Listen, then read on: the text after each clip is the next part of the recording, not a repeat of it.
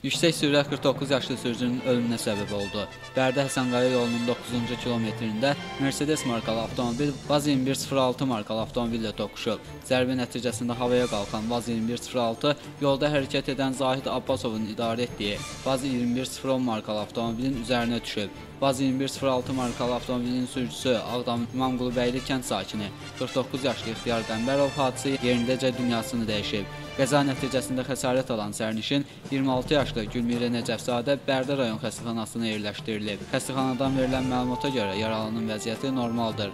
Hadisə yerində araşdırma aparan Bərdə rayon polis şöbəsi əməkdaşlarının verdiyi məlumata görə qəzaya Vaz 2106 markalı avtomobilin sürücüsü İxtiyar Qəmbərovun yüksək sürətlə idarə etdiyi avtomobillə Mercedes markalı avtomobilin yoluna çıxması səbəb olub. Akşin Nemətli, Şamxal Cəlloğlu, Bərdə, Dünya TV.